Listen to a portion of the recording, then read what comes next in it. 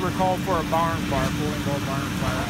Uh, we get on scene, uh, as you can see, on the west side is where the hay was up at the top. That's where the fire had started. And I talked to the guy here, and they had been using the barbecue grill earlier, and uh, they went to save some of the charcoal that hadn't fully burned up, so they put it in a bag instead of in the barn. So that's what started the fire. So, guys, that's something has happened before. It seems people keep on doing that. It's something you got to be aware of.